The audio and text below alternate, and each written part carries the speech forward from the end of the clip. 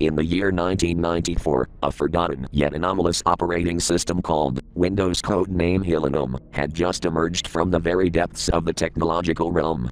It was an operating system that was going to be released to the public on May of 1995, but it cancelled due to it developed and explained bugs and glitches. Rumors began circulating on internet forums claiming that this operating system had been a program with a cursed line of code that made it sentient, with a conscious mind of its very own. It held an eerie reputation for its very own flaws within its code. Users who dared to install it on their computers were greeted with a tapestry of uncertainty and malevolence that would haunt them in their very own nightmares.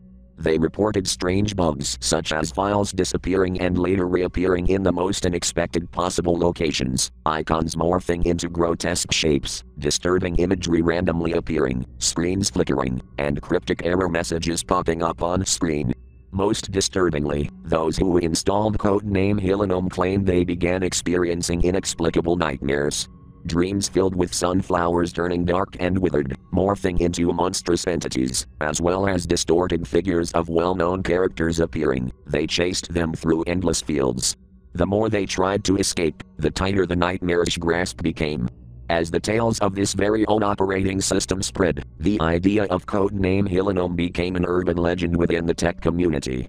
People debated whether Hylonome was intended to be a harmless alternate operating system or possessed a more sinister purpose.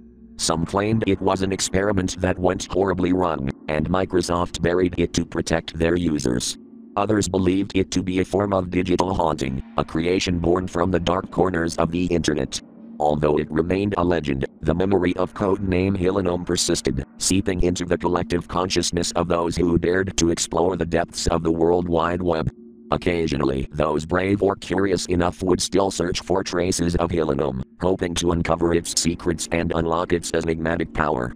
But, like the fading beauty of a wilting sunflower, the legend of Windows codename Hylonome slowly faded into obscurity. Its legacy became little more than a footnote in the annals of computing history, yet its eerie allure remained etched in the minds of those fascinated by the enigmatic world of technology.